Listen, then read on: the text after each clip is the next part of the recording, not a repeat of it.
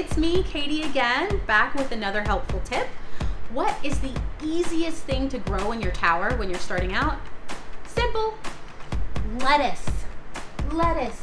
More lettuce. It's so easy, and might I add that we include that in your seed starter package.